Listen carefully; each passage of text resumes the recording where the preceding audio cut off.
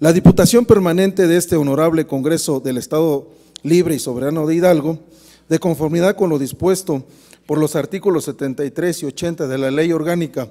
del Poder Legislativo del Estado Libre y Soberano de Hidalgo, exhorta a la Junta de Gobierno a emitir un punto de acuerdo para la creación de una comisión especial para la investigación de los posibles actos de corrupción derivados de la publicación de la convocatoria al procedimiento de otorgamiento de patentes de notario público el 4 de julio del 2016 en el periódico oficial del Estado de Hidalgo.